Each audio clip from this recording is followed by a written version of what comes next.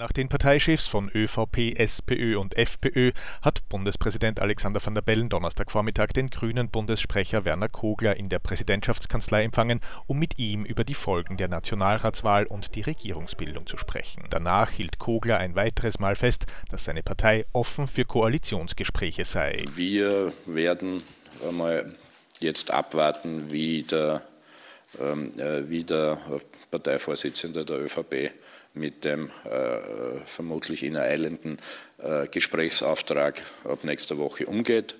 Wir, wir Grüne haben äh, völlig, äh, völlig klar in, in der Wahlbewegung schon zum Ausdruck gebracht, äh, wie wir uns da positionieren. Und so gesehen wird es dann ähm, auch äh, unter, der, unter der Schirmherrschaft des Bundespräsidenten einen, einen Gesprächsplan geben, der aber jetzt einmal mit allen Parteien oder mit fast allen, denke ich, äh, offen ist. Und äh, wir sind, wir sind Teil davon und eben wie angekündigt nicht auf der Flucht, sondern ähm, durchaus offensiv, offensiv mit dabei. Tipps von Van der Bellen für die anstehenden Sondierungen mit der ÖVP bekam Kogler dabei eigenen Angaben zufolge nicht.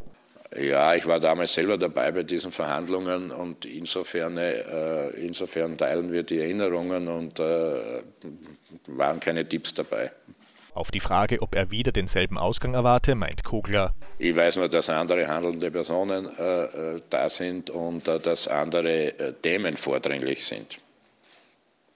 Also ich kann mir nicht vorstellen, dass der der Herr Kurz danach trachtet, äh, am besten 24 äh, Eurofighter zu bestellen, äh, äh, wo der Schmiergeldverdacht gleich mit daherfliegt. Ich habe diesen Eindruck nicht.